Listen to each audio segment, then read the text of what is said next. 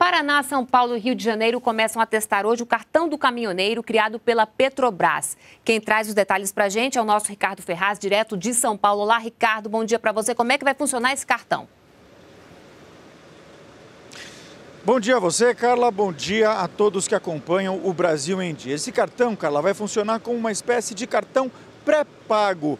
O cliente pode carregá-los com litros de combustíveis, é, de óleo diesel principalmente, e utilizá-los durante o período de 30 dias diretamente na bomba.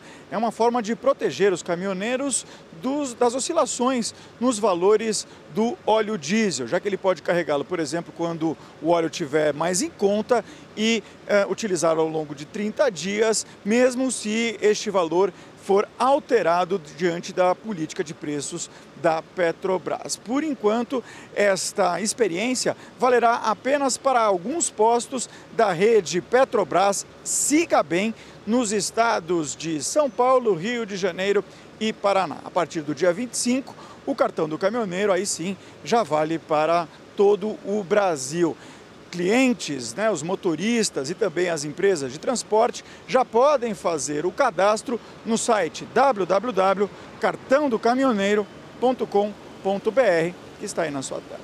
Cala. Obrigada, Ricardo, pela sua participação.